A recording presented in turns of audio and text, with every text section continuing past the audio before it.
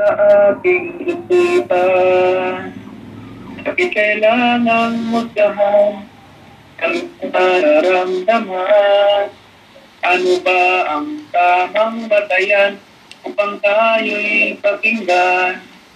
Dapat mataas pa ang iyong pinagmulan kahit sasaktan ang ating.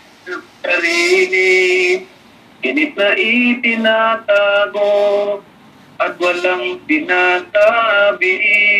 Puso ko may nagdurugo, ya'y di kita ng iba.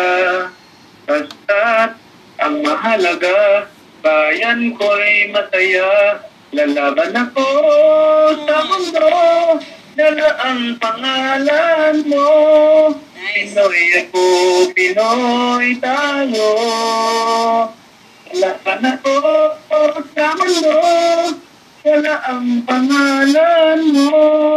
Lalaban ako para sa Pilipino.